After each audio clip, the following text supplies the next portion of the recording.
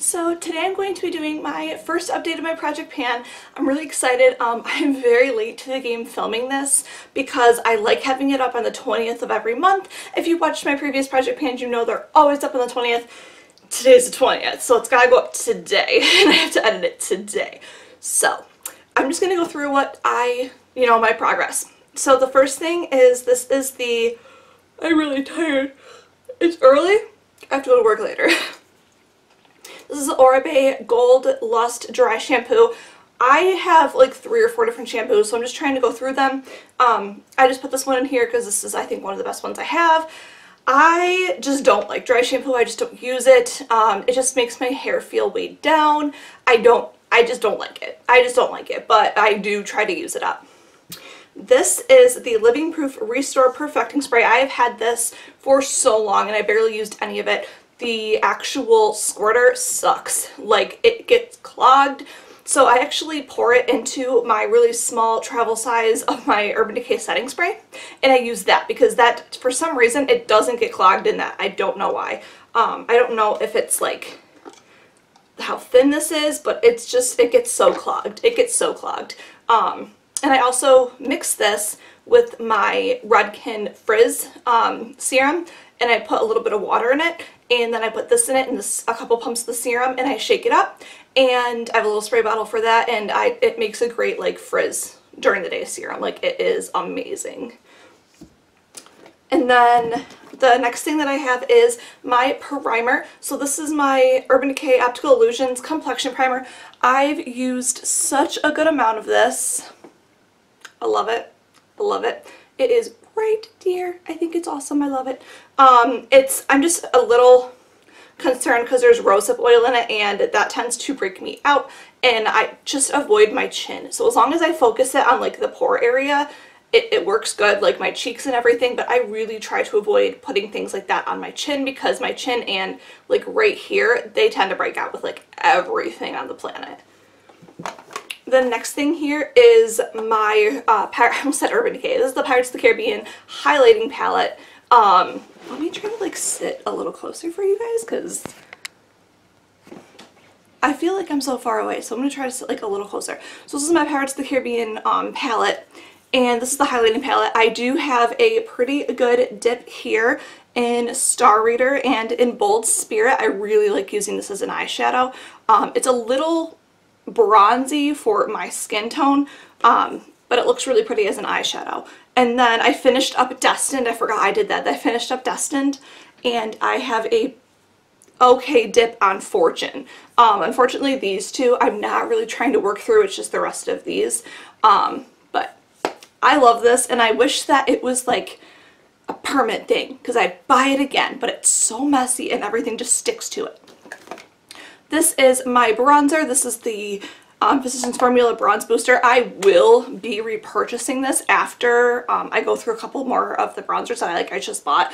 I think this is my favorite. So out of the bronzers that I've recently bought, including the Maybelline one, which I love, and my Benefit palette, this is still my favorite. This one right here, and I wish that Physicians Formula would come out with just this color. So they had like a white, like a yellow color, a too dark color in this one and I actually liked all three of them as an eyeshadow look. I'd put this in my crease, this on the outer corner, and this on like the rest of my lid inner corner. It was such a perfect like just throw it in your bag and go. Um, but I love this shade. It is more of like a dry bronzer, like I don't know what to say, but it just didn't have like it was more of like um, a gray bronzer rather than being like an orange bronzer. So it, it, it, just, it works, it works so good on pale skin. I love it. If you find this trio, definitely pick it up. You will love it. Um, this is the Pure, my eyeshadow palette that has seen better days. Going through a lot of this, I wear this pretty much color, I wear this color pretty much every day, and these two colors are getting a lot of love too. And then this is like my favorite, favorite crease color. Um, you guys know I love this palette, but it's just, it's seen such better days. Such better days.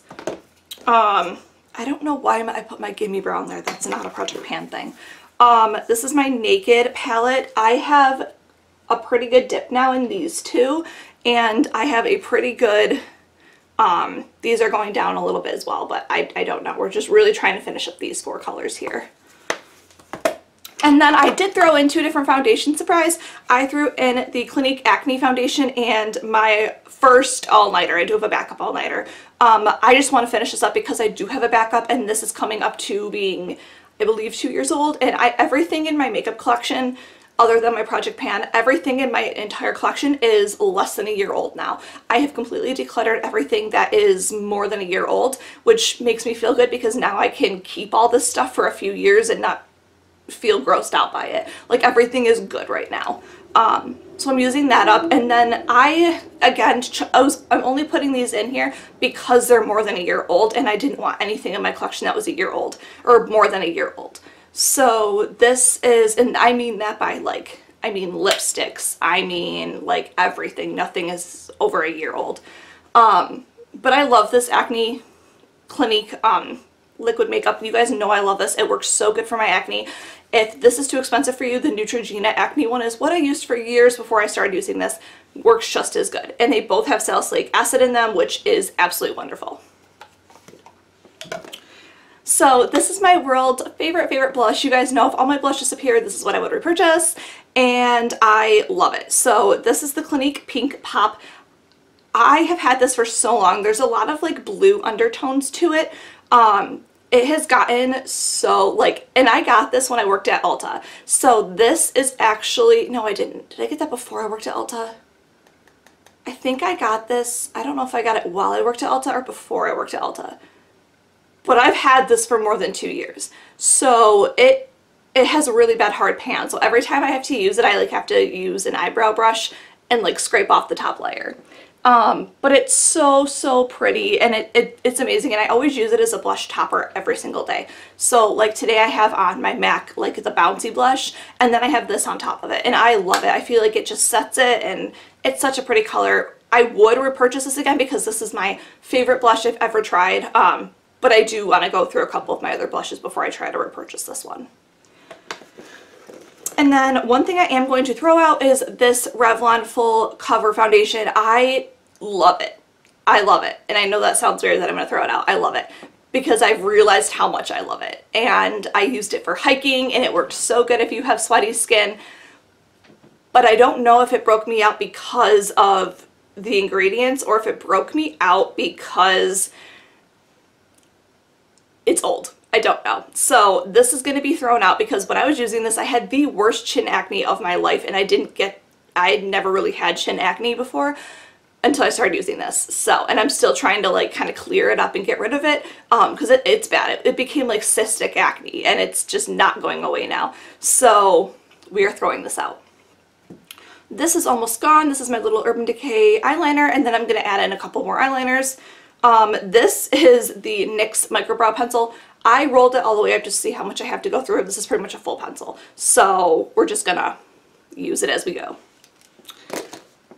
And then I have some stuff on the side because I didn't want it falling over and of course it did. I was gonna, I wanted it to like stand straight up so I could show you how much is left of it and of course it fell over. So the first thing I have is this NYX Honey Dew Me Up and it's the primer. I love this stuff. I don't know why. Some people either absolutely love it or they hate it. The next thing that I have, it fell over so you can't really see it now, um, is my Clinique Marimekko um, lip gloss in Peanut Pop, Pinot, Peanut, Pinot, I think it's Pinot Pop. And it's actually down to here. So we're about halfway through. I bring this to work and just reapply, reapply. Um, it still smells really good and it's less than two years old so it's not you know hopefully we can use this up. These I cannot wait to get rid of. This I actually like. So one of my friends told me to use this um, on its own and these are the LipSense that I have that I'm using up and they said to use the moisturizing gloss by itself and I was like oh my god I need to try that. So we're gonna be trying that more often, but I, I, do like the lip gloss by itself. And then this is the actual color. I took the whole package like thing off so you could see where it is. It is down to here right now. I have to reapply this a few times a day. It just crusts on my lips. And I don't know if it's because it's probably gone bad and it's, I want to say almost two years old. So I don't know if it's like gone bad and the alcohol in it just like goes bad after a while, but it smells so bad of alcohol and I know that's like the first ingredient in it and I just I don't I don't understand the whole LipSense thing. I tried it and I just no no. So that's the Project Pan update. We're going to get into my empties as you guys love the empties. I think I like during this first like month of quarantine thing and by the way I'm back to work so it's I am like we're open for curbside so I'm there every single day and when I have my two days off, Sundays and Mondays, I like to be outside. I don't want to be inside filming all day because now it's like getting into the 70s and 80s. I just want to be outside, like hiking, going out with my friends, going to the beach. So I don't, um, I, I just don't want to be filming all the time. So that's where I've like not really filmed a lot. So I'm sorry about that, but I've been enjoying the outside. Um, so the first thing I finished up is my Redken All Soft Shampoo. I love this stuff. Um, right now I'm just using, I feel like I'm cringing saying this. I have another bottle of this, but until I can get to a salon and get my hair like actually trimmed and healthy, I'm not opening a new bottle just to put it on like damaged hair. So I am using a Tresemme and my Dr. Teal shampoo right now. So it's bad. It's bad. Still have my Redken conditioner, but I'm being naughty and using a drugstore shampoo. I finished up this Aromatherapy Stress Relief Moisturizing Body Wash. I love the moisturizing body washes, especially after you shave. Your legs feel so much better. And this one was really nice because it smelled really good. And this was eucalyptus and tea. I finished up in the Walmart makeup wipes for swatches. I would never stick these things on my eyes. Um, for some reason, I think I'm allergic to the Equate brand for my eyes, so yeah. I used up so many freaking candles. So the first couple candles I used up, um, I used all of my, every single candle that I have that's not a three wick candle, like a big one, has been used up. All of my smaller ones are used up. So this is a Sleep Lavender. This one I got from the dollar store. I loved this one. This was a wood wick, so it actually made like a really soothing, comforting sound. Oh, loved it. And this was my Bath & Body Works Winter Candy Apple. I love this scent. This is like one of my favorite scents they carry. I wish they carried it all year round. I finished up a Spongeables, um, the lavender tea tree oil for like your feet. I don't use it on my feet. I actually like get it wet and everything and I use it as a pre shave. So like an exfoliating before you shave. That's what I love it as. And then I use the other side to lather it up and I just shave with this. I love this. This works so good to help you shave because it just really like exfoliates your skin. Two more baby candles. This one is the Yankee Candle White Christmas. This one smelled so good. Yes, I used a Christmas one. Um, if I can get it open. Oh my God. I want to get the big one for Christmas time. I loved that so much. That was really good. And then I used a fresh cut lilac from the dollar store. This one smelled really good. My room is small and if I keep the door shut, even if I keep it open, it will scent throughout the whole room and it's very, very powerful. Love it.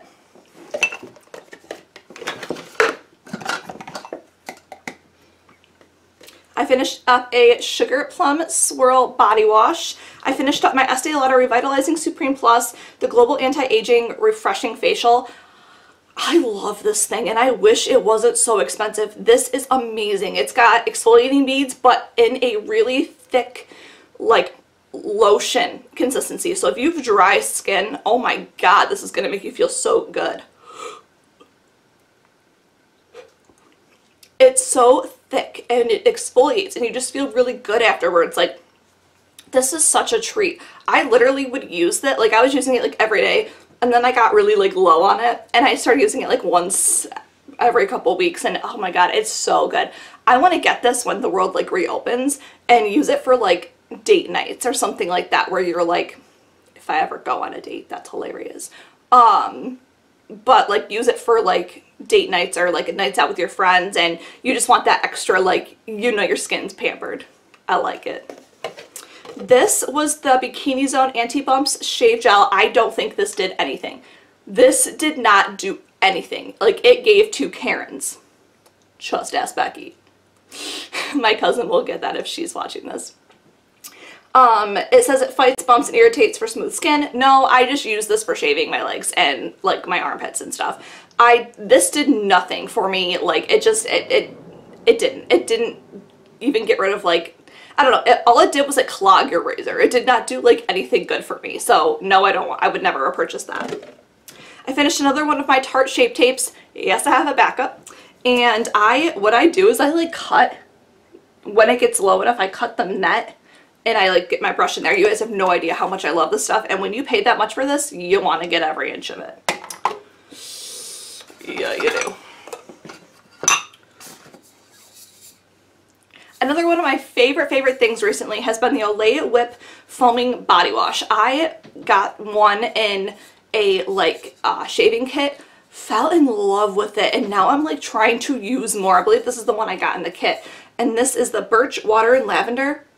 Oh my god, it smells so good. And it leaves your skin smelling really, really good. And like if you just want a super quick shower where you don't want to like super deep scrub your body, these work really nicely and they leave your body feeling really clean and they smell so good. Like you can like, if you're laying down afterwards, like I was laying on my arm and I was like, someone smells like lavender and it was literally from the body wash. Two more candles. This one is Joy and Laughter, Notes of Lemon and Jasmine. I liked this one. This one smelled, this one smelled sort of herbally, um, but smelled really good. And this is a sleepy time. This was a uh, dollar store candle. Look how well it burned. There's nothing left in that. The Woodwick ones, oh my god, I love them. They sound so pretty. Last two candles. I told you, I went through candles galore here. And this is another fresh cut lilac from the dollar store. I loved it so much. Like, oh my god. This one I got from my brother's girlfriend for Christmas. This is Twisted Peppermint. I love this. I cannot burn this though for long and I can't burn it with the door shut because peppermint is very strong. Um, but it was, it, I felt like it actually like opened my sinuses and helped me with my allergies. Oh my gosh, it just smells so good. Um, it's funny because every morning I'll wake up and I'll be like, oh my god, my nose is so stuffy. I have so much mucus and like I'm coughing and it's like I'm dying of COVID no, you just have allergies, girl. Like, you just gotta remember you got allergies.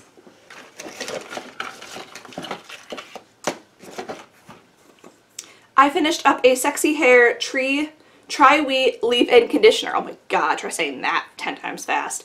Try Tree Try Wheat Leave-In Conditioner. I love this stuff. Um, I, the only reason I'm not repurchasing it is because I have, you know, my living proof stuff to go through.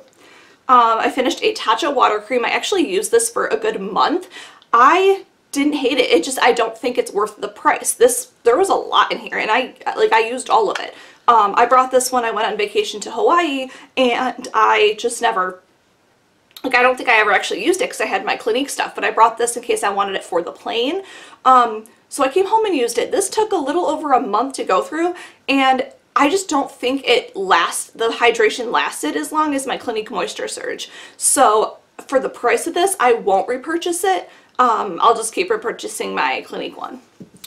This was a Hey Honey Come Clean um, facial scrub. I liked this stuff. It was from Ipsy Bag. I just one of my samples I grabbed out to try. I have a lot of samples and I debated on doing like a sample Sunday thing, but I don't have like enough, I don't think, like enough samples to do that. Um, I don't know. We might do like a weekly samples.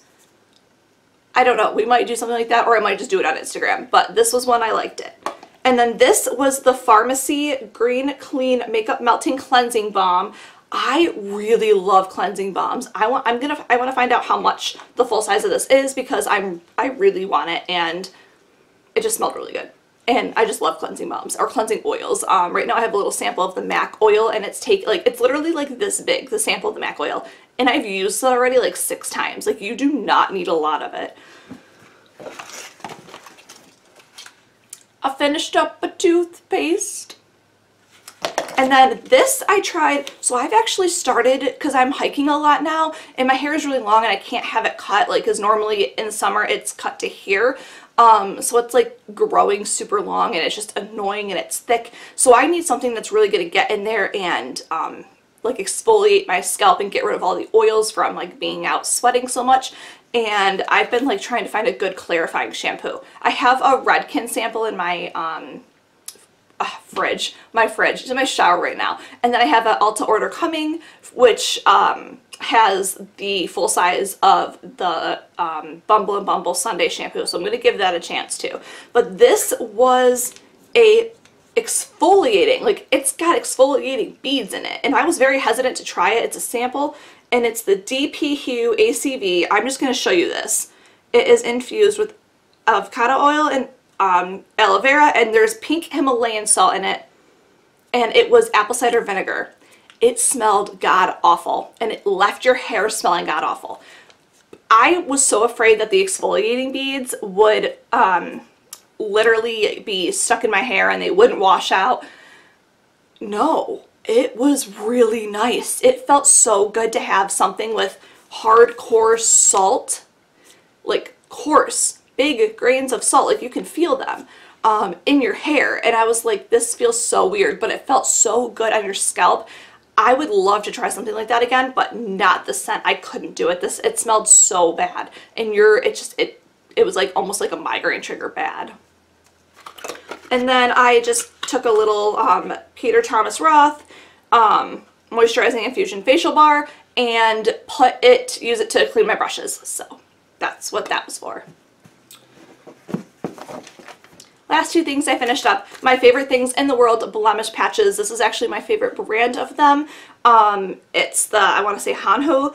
Um, you can get them at Target. You can get them on Amazon. I love these. You just stick them on literally on your pimple and it's like gone. I don't know how, but it's like magic. Where was this when I was in high school? And then I finished up the Olly Sleep Gummies. I love these things. I've purchased it multiple times.